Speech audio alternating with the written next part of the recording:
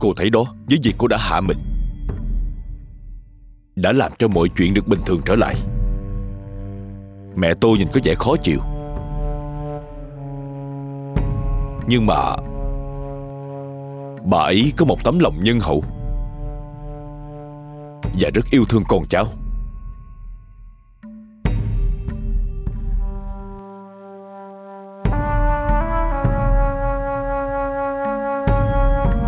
Nếu cô sớm biết được điều này.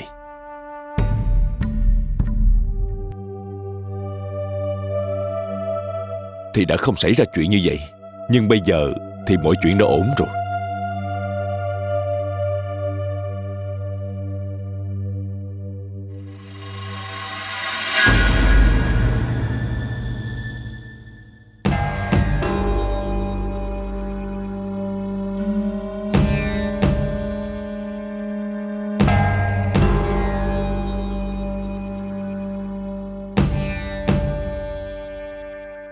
Mặc dù tôi đã chủ động xin lỗi. Nhưng điều đó không có nghĩa là Việc các người làm là đúng đắn. Tôi không thể nào chấp nhận được chuyện đó.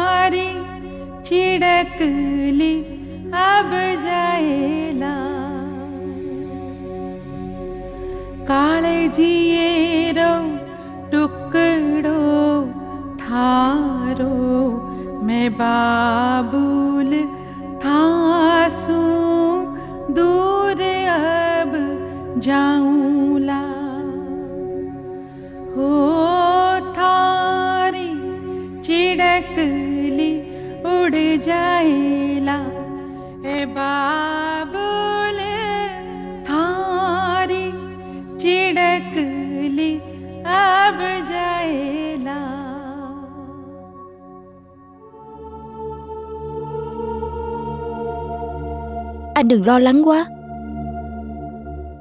Tôi sẽ không để cho mọi người thấy là Tôi ngủ ở ngoài sảnh đâu, Tôi sẽ ngủ ở phòng khách. Như vậy, anh sẽ không bị mất mặt với mọi người. Dạ sáng ngày mai, Trước khi cả nhà thức dậy Thì tôi sẽ trở lại phòng này.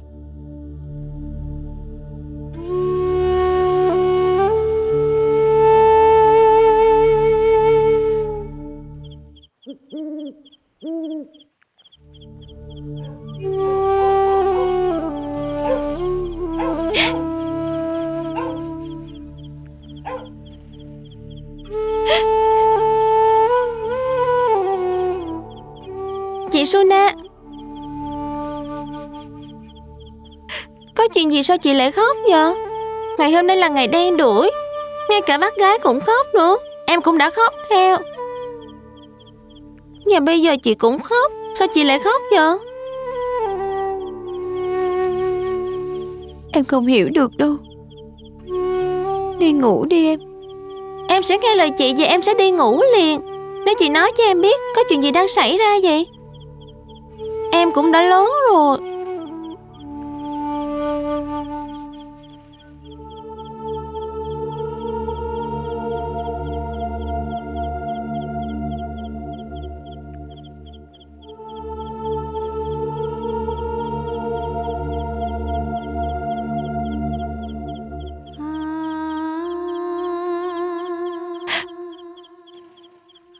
ra tách đã nói gì làm chị không vui hả? Em à Lấy cho chị ly nước. Chị đang rất là khát Dạ được. Nếu chị không muốn nói chuyện đó Thì cũng không sao hết. Nhưng sau này có chuyện gì chị hãy nói với em nha. Những lúc như vậy thì em không thấy buồn ngủ đâu. Và lần này anh ấy mua gì cho chị vậy Em nhớ lần trước anh ấy mua tặng cho chị nhiều đồ đẹp lắm Và còn mua cho chị rất nhiều mỹ phẩm nữa đó. Đi lấy nước cho chị đi. Nha. Và chị hãy nói cho em biết đi Chừng nào thì anh ra táp gặp chị. Em à Hãy lấy nước cho chị. Chị đang rất là khát nước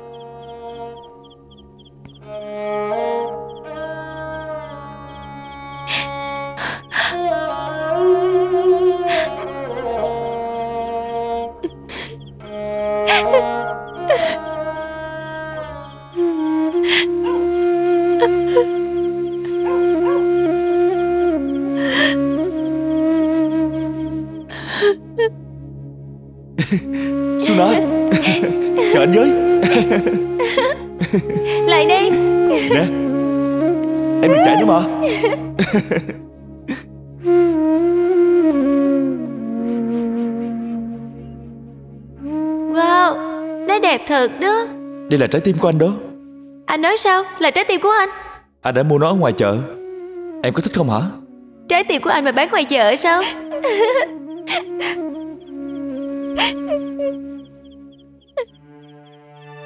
Tại sao vậy anh Pratap? Tại sao vậy? Chúng tôi đang chờ quyết định của anh. Nếu như anh chọn con của tôi làm rể Còn nếu như anh không tán thành Thì chúng tôi Đành phải xin. Nè anh à nếu không có cách nào khác, Có lẽ tôi phải tìm mối khác cho con trai của tôi thôi.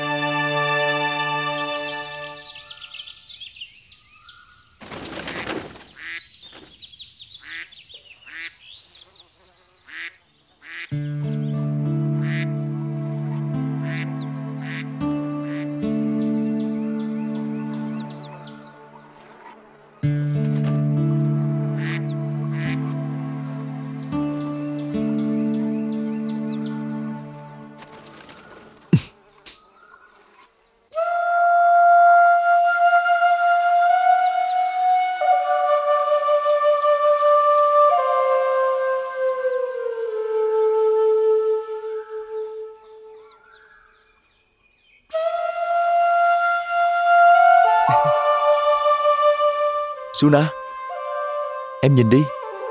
Anh có một cái này cho em nè. Cái gì vậy?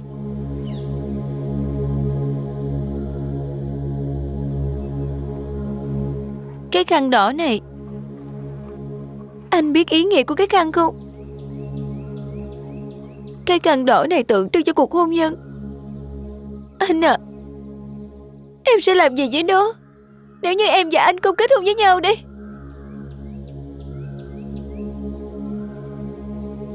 Sao anh không nói gì vậy? Anh có biết là Chỉ mới ngày hôm trước thôi. Ba mẹ anh đã gặp ba mẹ em và nói gì với họ không? Anh biết. Anh biết hết chứ.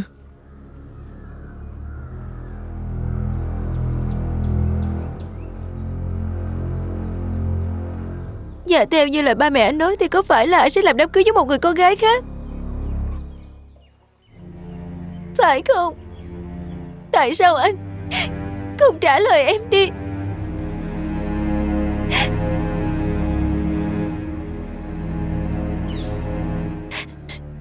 Anh không trả lời em được hay sao? Vậy thì ít ra trả lời câu hỏi này cho em. Nếu anh làm đám cưới với người khác Thì lúc đó em sẽ làm gì đây? Em sẽ đi đâu đây? Tại sao lại không trả lời chứ?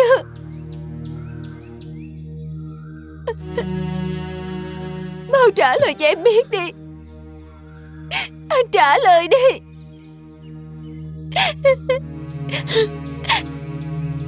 Tại sao vậy? Vậy hãy nói cho anh biết đi. Em có dám làm đám cưới mà không có sự cho phép của ba mẹ em hay không vậy?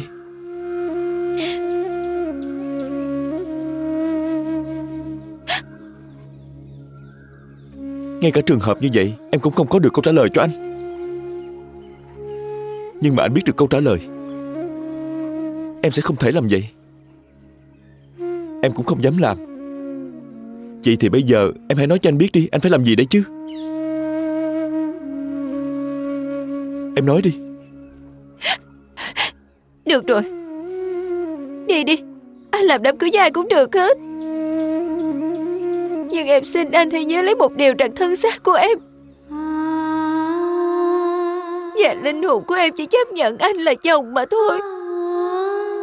Đã có thần linh làm chứng, Bây giờ em không thể suy nghĩ tới người nào khác được. Vậy nên em sẽ nói cho anh biết rõ ràng một điều rằng, Nếu anh không từ chối, Nếu như anh nghe theo lời ba mẹ của anh kết hôn nếu Nếu nhà anh làm đám cưới với một người khác không phải em, Thì ngày hôm đó sẽ nhận được cái tin về cái chết của em.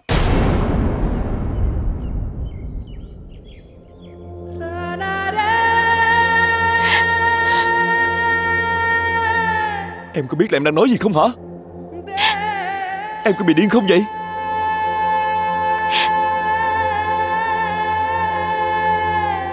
Em có biết là anh yêu em nhiều lắm hay không?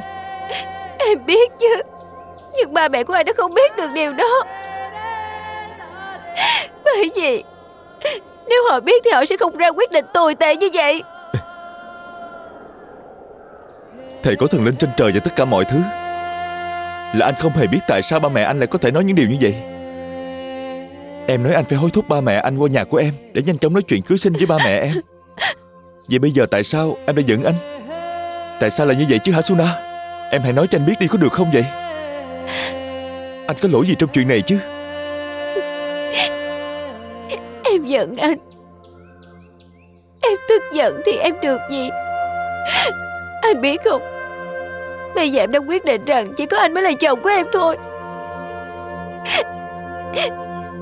Em cho anh biết như vậy đó.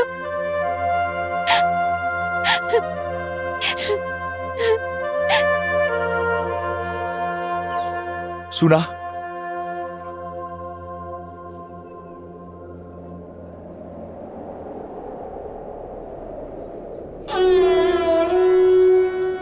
Tại sao em lại muốn làm lớn chuyện lên vậy? Em hãy suy nghĩ cho kỹ đi Suna. Em nghĩ là anh không tức giận hay sao? Nhưng tức giận không phải là giải pháp hay đâu em à. Không đâu, anh đừng có nói nữa. Em đã quyết định rồi và em sẽ không thay đổi. Bây giờ mọi chuyện.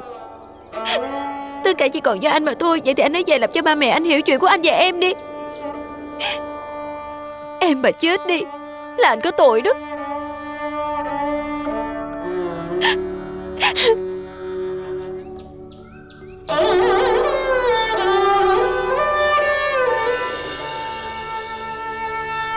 Sao con không nói rõ? Con không thấy được sự đau khổ của người thân trong nhà hay sao chứ? Con hãy nghe đây, Ba mẹ đã không nói điều gì sai trái với bên nhà đó hết. Con đã ép buộc ba mẹ Làm tất cả những chuyện này đó. Con hối ba mẹ qua bên nhà đó Và làm đám cưới cho con. Sao bây giờ lại đổ lỗi cho ba? Con không trách ba chuyện đó đâu ba à. Ba nói chuyện đám cưới của con với người khác Cho gia đình bên đó thì được gì chứ? Bây giờ con không muốn làm đám cưới với bất kỳ ai khác. Tại sao ba lại nói như vậy chứ? Những lời mà ba đã nói thì không có sai cái gì hết. Những quy tắc đó đã có từ rất lâu. Nếu vợ của con Chết trước khi làm đám cưới Thì người đàn ông đó phải ở một mình. Ở một mình mãi mãi không được phép lấy vợ khác. Sao ba lại nói những điều Xui xẻo và khó nghe đến như vậy chứ? Em nghe chưa? Con trai của chúng ta Chỉ biết lo lắng cho vợ của nó thôi. Cũng bởi vì con mà mỗi lần Ba mẹ đích thân qua nhà bên đó hỏi cưới con gái nhà người ta. Thì lúc nào, Gia đình của họ cũng từ chối. Bây giờ Bây giờ thì mọi chuyện đã xong rồi. Ba mẹ thấy nên dừng lại. Dù gì thì gia đình của chúng ta Cũng phải có lòng tự trọng. Cho dù chúng ta không giàu có. Nhưng mà, Gia đình của chúng ta là bên nhà trai. Nhưng mà ba Con hãy khoan đã. Chúng ta cũng đã hạ mình. Nhưng gia đình bên đó nhiều rồi. Mẹ. Mẹ hãy nói với ba giúp con đi. Nếu mà con làm đám cưới với người khác Thì Suna sẽ ra sao đây? Con không được nói nhiều. Tại sao con chỉ nghĩ cho Suna đáng thương của con thôi vậy? Chuyện gia đình của chúng ta. Thì con lại không lo gì cả Tại sao con phải bận tâm bởi vì chúng ta cũng đã chờ đợi câu trả lời đã lâu? Nếu nhà bên đó muốn đòi hỏi, Thì họ Sẽ phải tự đi mà kiếm chồng cho con gái của họ. Giờ ba không muốn nói chuyện này nữa.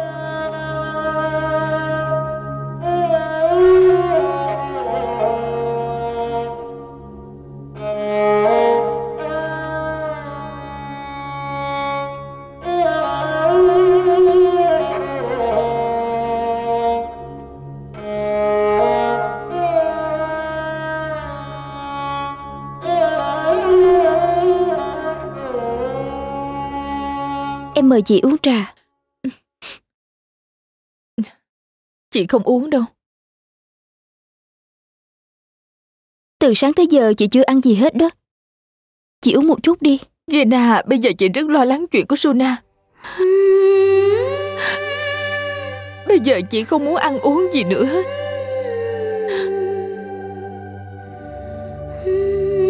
Chị Sumitra Em có thể hiểu được lý do tại sao Chị lại đứng ngồi không yên Khi biết được chuyện xảy ra với Suna Và em cũng hiểu được rằng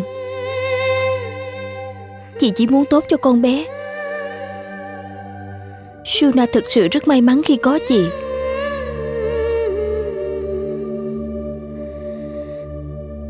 Em chỉ ước là em cũng có một người mẹ giống như chị.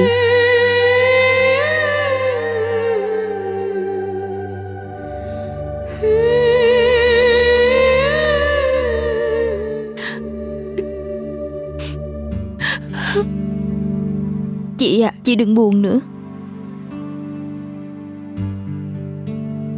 Gia đình nhà trai đã nói những lời rất khó nghe. Chị cũng cảm thấy rất khó chịu. Chị rất lo cho Suna khi chuyện đã xảy ra như vậy. Chị đang rất lo lắng.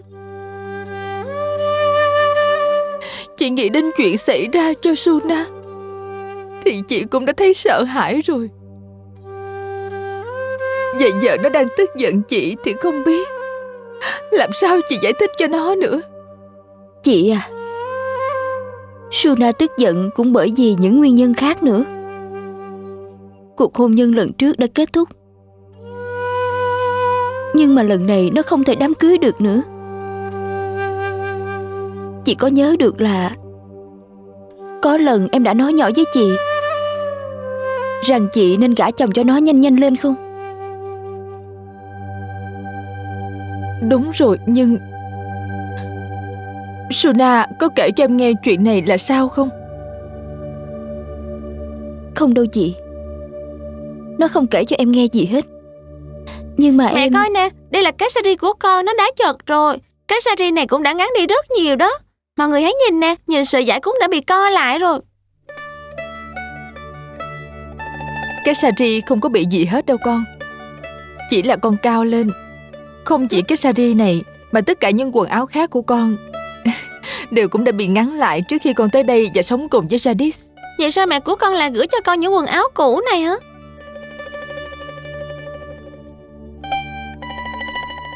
Bởi vì đây chính là đồ của con Con phải luôn cất giữ nó sạch sẽ Trong suốt cuộc đời của mình Con nhớ chưa Nói thiệt là tuyệt vời.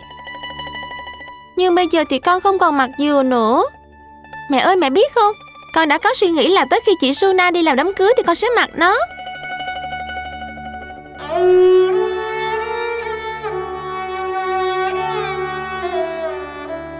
Nhưng mà nếu đám cưới diễn ra sớm hơn thì có lẽ con đã mặc dừa nó rồi. Sao con lại buồn hả Bác sẽ dắt con đi mua cái khác được không Thiệt sao? Một cái giống cái này hả? Đúng rồi đó Đúng rồi đó con. Bác Gena sẽ mua cho con. Giờ mẹ phải nói chuyện với bác. Nhưng mẹ ơi, con muốn một cái giống y như cái này. Như vậy con mới có thể nhảy múa thiệt là nhiều trong đám cưới của chị Suna được chứ. Cái dòng rất là cần thiết khi nhảy. Thiếu cái dòng này là không có được đâu. Nếu mà không có nó Thì chân của con sẽ bị kẹt, con sẽ bị té đó. Sao có thể nhảy múa khi không có đám cưới nào chứ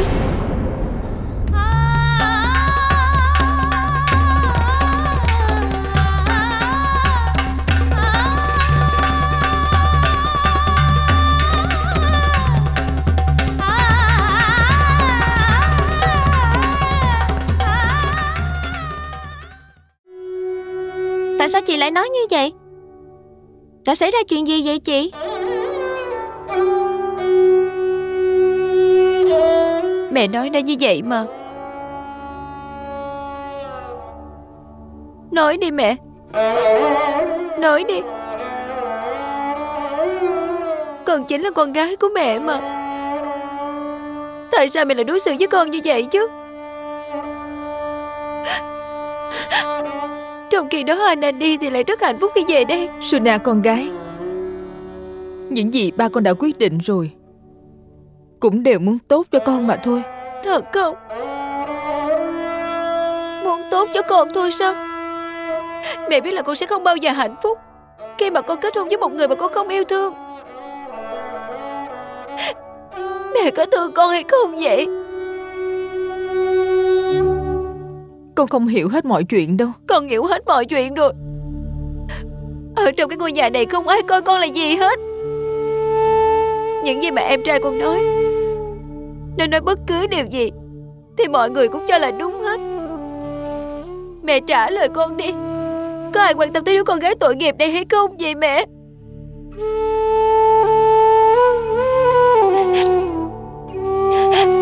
Được rồi. Hãy làm những gì mẹ muốn. Dù con có sống hay chết, Thì mẹ cũng đừng quan tâm tới con.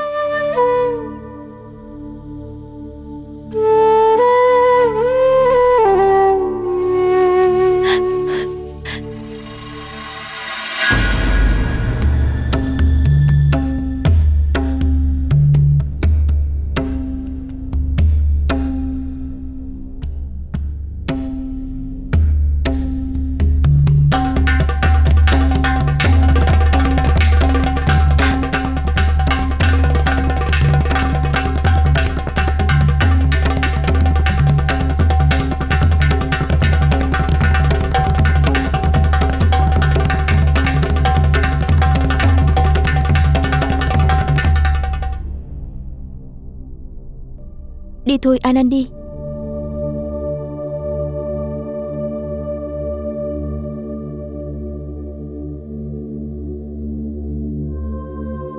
Ba ơi ba.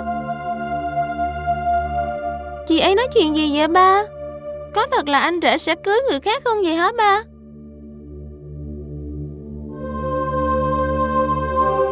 Không đâu con. Thật vậy hả? Vậy còn lời hứa của ba không có chuyện gì đâu con. Vì Suna đang bực tức cho nên mới như vậy thôi. Không sao đâu.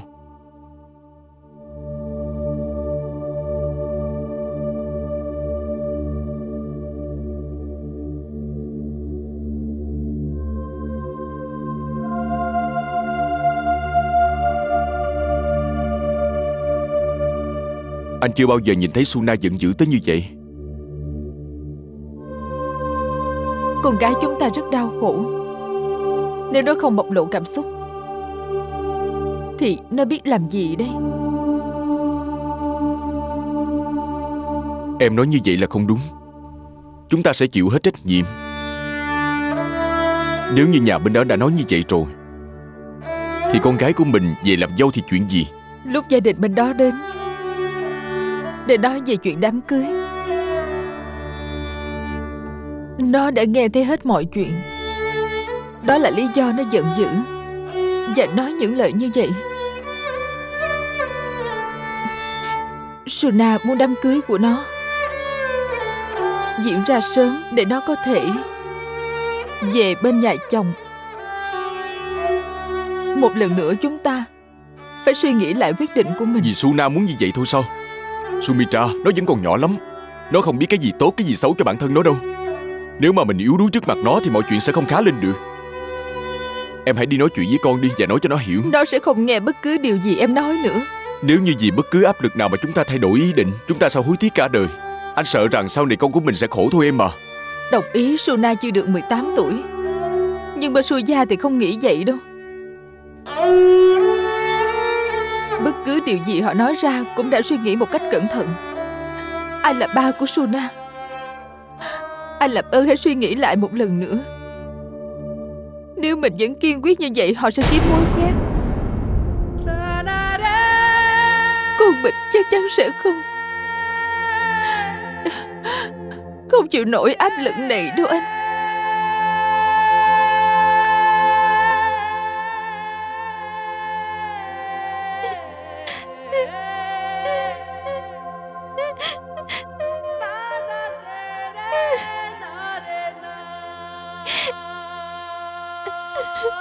Chị Suna ơi Chị lại khóc nữa hả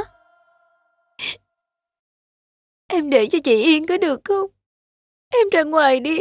Sao chị lại khóc vậy Chị muốn được yên tĩnh một mình. Chị không muốn nói chuyện với ai hết. Làm sao mà em có thể giúp được chị chứ? Sẽ không giúp được gì đâu. Chị ơi Chị nín đi nha Chị đừng khóc nữa nha chị. Chị nghe lời em đi mà chị. Nếu mà chị cứ khóc hoài như vậy Thì anh ra táp cũng sẽ đau lòng lắm luôn đó chị. Chị yên tâm đi Anh ấy sẽ không cưới ai khác đâu. Em nói những lời này cũng chỉ là để an ủi chị mà thôi. Không phải Những lời em vừa nói là thiệt đó. Mà chị Tại sao chị lại quyết tâm thực hiện đám cưới vậy? Nếu chị lấy chồng, Thì chị sẽ sang ở nhà chồng chứ không ở đây nữa. Lúc đó chỉ còn một mình em ở trong căn nhà này thôi. Em đâu còn ai để mà nói chuyện nữa đâu.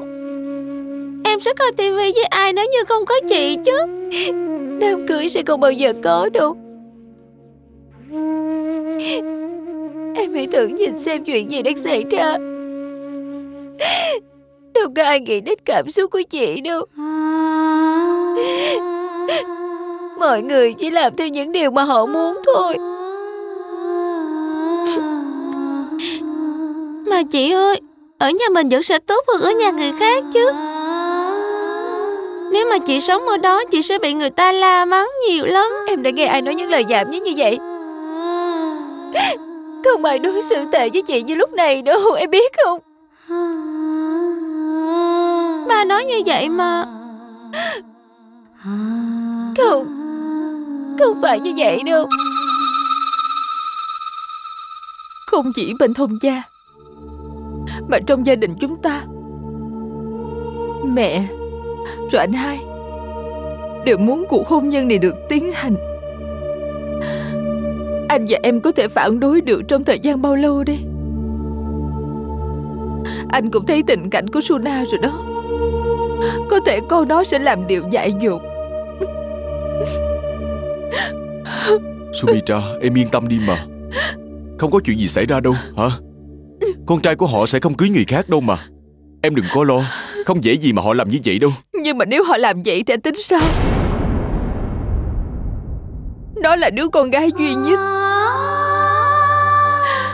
Nếu như sau này họ làm như vậy thì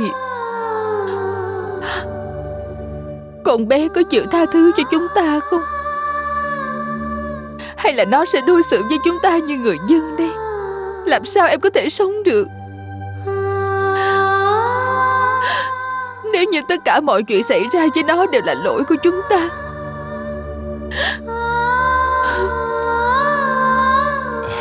Anh sẽ làm mọi thứ để điều đó không xảy ra được. Chúng ta sẽ phải nói chuyện với bên đó một lần nữa. Em hãy tin tưởng ở anh đi có được không?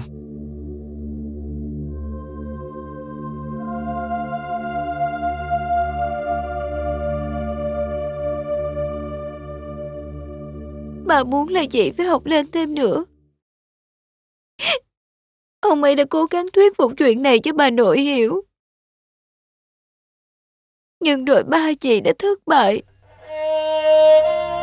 Ngày hôm đó thì ba đã phải chịu âm thầm lặng lẽ đồng ý. Với bất cứ điều gì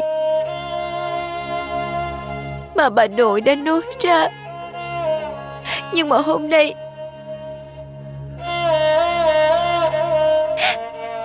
Tại sao ông ấy Lại không đồng ý? Tại sao Bà nội cũng muốn đám cưới được tiến hành, Giống như chị? Điều đó sẽ thật tốt nếu ông ấy đồng ý. Nhưng mà ông ấy lại không chịu đó. Tại sao vậy?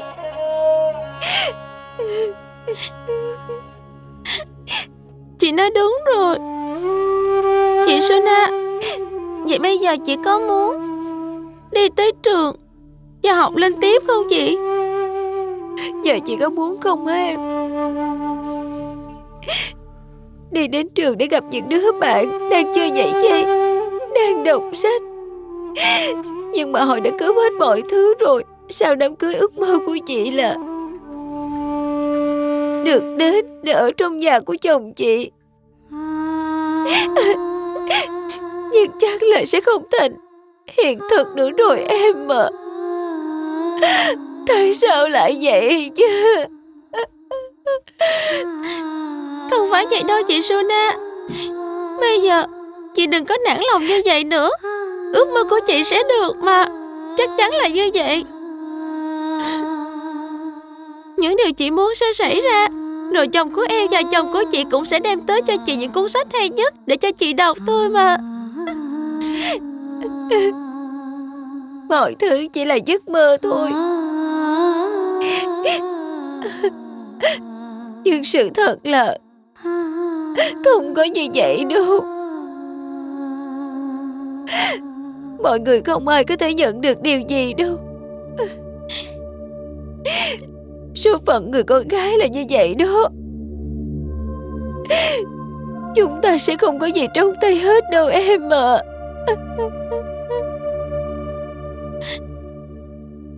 Chị Sona ơi, Cô giáo của em thì không bao giờ nói như vậy đâu chị à Cô ấy nói là Nếu mà thực sự bạn thành tâm thì thật linh sẽ phù hộ. Em cũng nghĩ như vậy đó, chị Sona Cô giáo của cháu đã nói gì?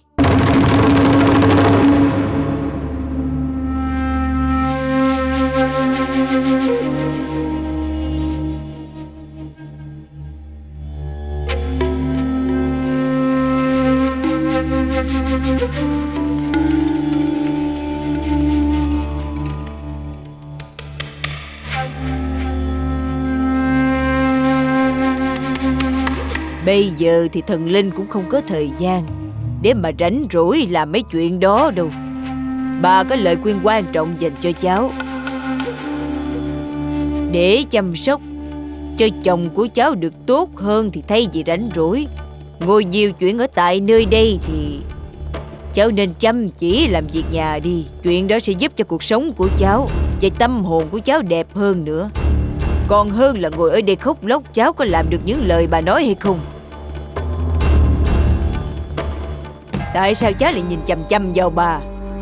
Cháu có hiểu hay không vậy? Còn nếu không thì chắc ta phải nói năm hay mười lần nữa mới được sao? Dạ cháu hiểu rồi thưa bà. Đi ra. Cháu hãy đi ra khỏi đây đi. Nghe không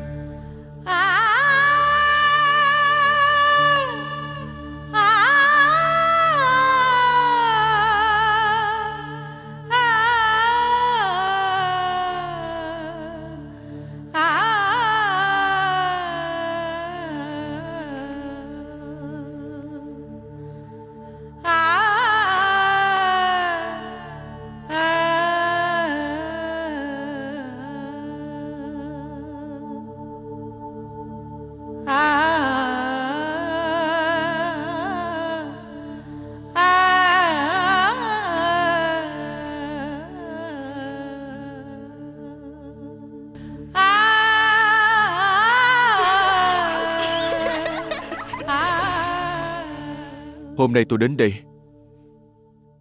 Là để bàn về chuyện tương lai của hai cháu một lần nữa. Mọi chuyện cứ từ từ, Không nên gấp quá mà sẽ làm hư hết mọi chuyện. Làm sao tôi có thể ngồi yên được nữa? Anh đâu có biết là Tôi đã khổ sở như thế nào. Anh có biết Mọi người đang chê cười chúng tôi hay là không? Tôi rất là xấu hổ. Tôi cũng không biết là Tôi phải trốn tránh không gặp mặt mọi người tới bao giờ nữa đây. Trong khi đó thì anh Lại quá chững chưng Không quan tâm gì hết.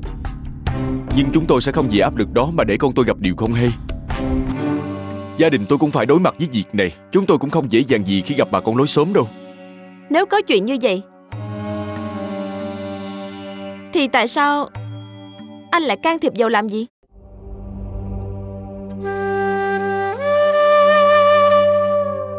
Tôi cũng không giấu gì chị.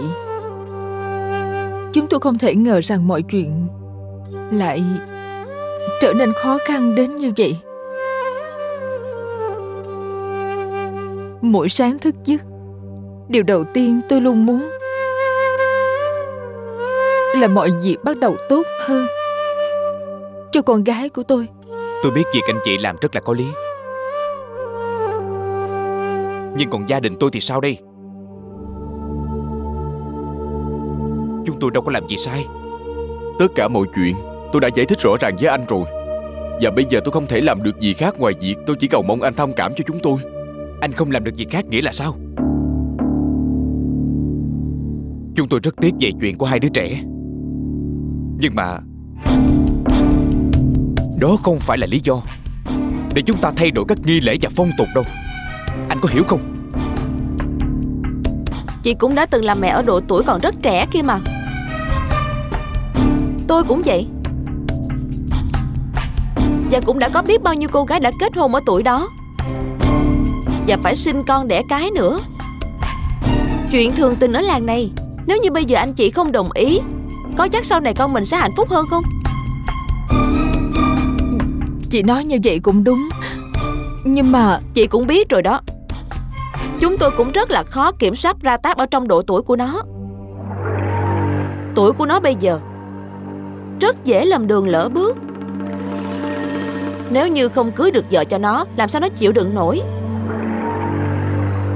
Nếu như sau này Con trai tôi mà có chuyện gì, Thì chị sẽ hối hận. Phận làm cha làm mẹ như chúng ta bây giờ đây. Phải quan tâm tới chuyện hôn nhân của con cái cho đàng hoàng chứ. Nếu như Suna vì chuyện này mà có chuyện, Thì sao đây? Sẽ không có chuyện gì xảy ra đâu chị à. Nếu chúng ta không tin tưởng con cái của chúng ta Thì còn ai tin tưởng chúng? Tôi chỉ mong muốn là Anh chị phải thật kiên nhẫn, Cố gắng chờ đợi thêm một thời gian nữa thôi. Cũng không còn bao lâu nữa Suna cũng 18 tuổi rồi, Thì đám cưới sẽ được tiến hành ngay.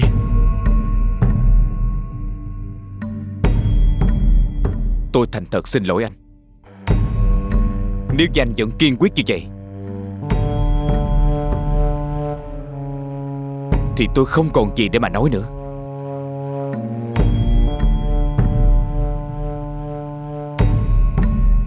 Hạnh phúc này là của con gái anh chị. Chỉ có tự quyết định. Vẫn còn rất nhiều thời gian. Anh suy nghĩ kỹ đi.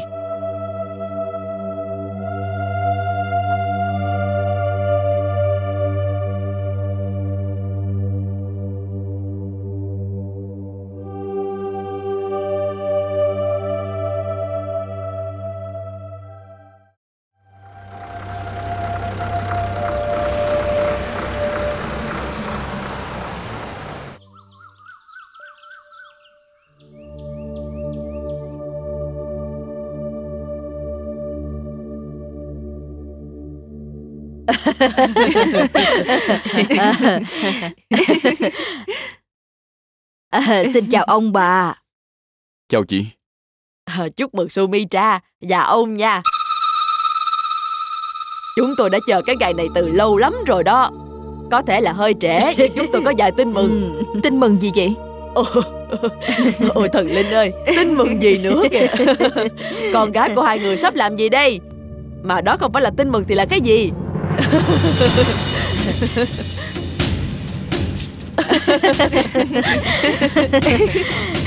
Thôi hãy đến chỗ của bà Kanyani để hỏi tin mừng. Của lễ cưới này đến cho mọi người trong làng biết chứ. Cháu gái Suna cũng sẽ sớm biết chuyện này thôi. Và mọi người cũng nên chuẩn bị tinh thần ngay bây giờ cho buổi lễ rồi đó. đi thôi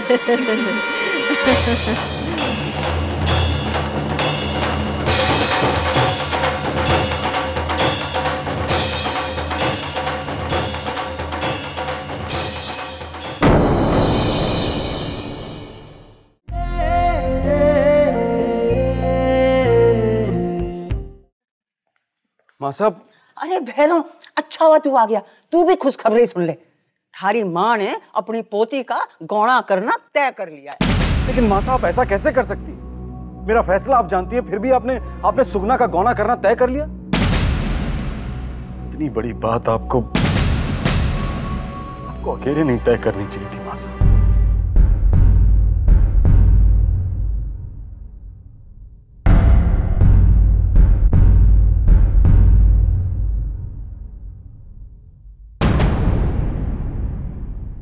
ये कह के हमारे को धन्य कर दिया तूने भैरव